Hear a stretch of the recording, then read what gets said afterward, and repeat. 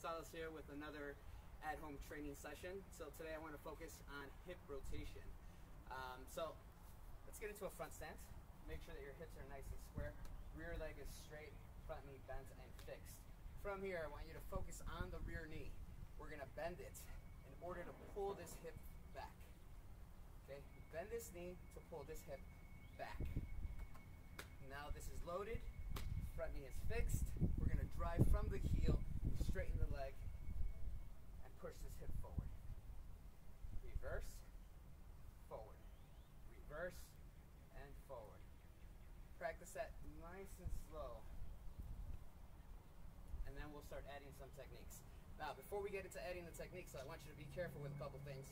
One, make sure you're driving the heel into the ground. Many times, what I see sometimes is uh, people actually are driving from the ball of the foot.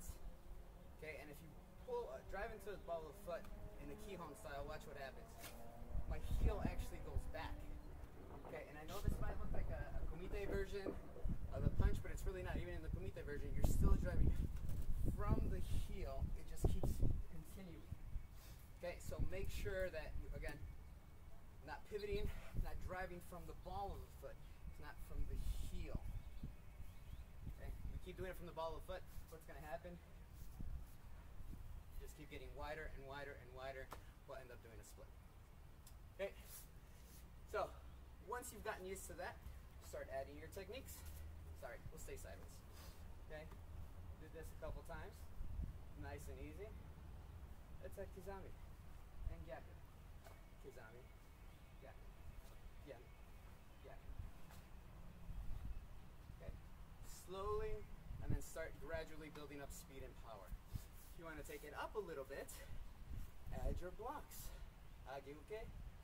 I like to combine, uh, do the, the Kihon style of the blocks, uh, but using the, uh, the Kamae as a Gyakuzuki. Two, three, four. Okay. Keep practicing that over and over, and uh, we'll continue with this on the next episode. Thank you so much. We'll